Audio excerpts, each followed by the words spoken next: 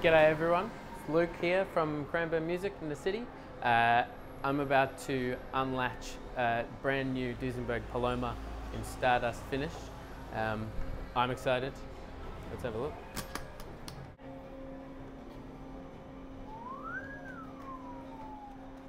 Super hot. It's their um, I guess. Uh, HSS configuration, that incredibly musical tremolo system.